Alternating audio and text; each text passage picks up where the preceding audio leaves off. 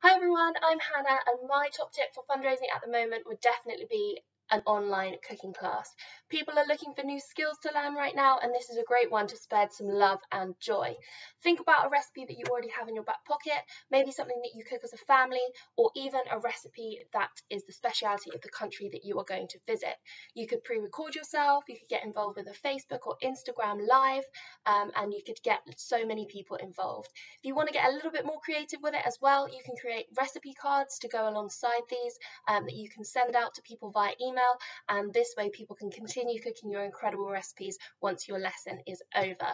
Uh, so embrace your inner Jamie Oliver, good luck, and have some fun. Happy fundraising!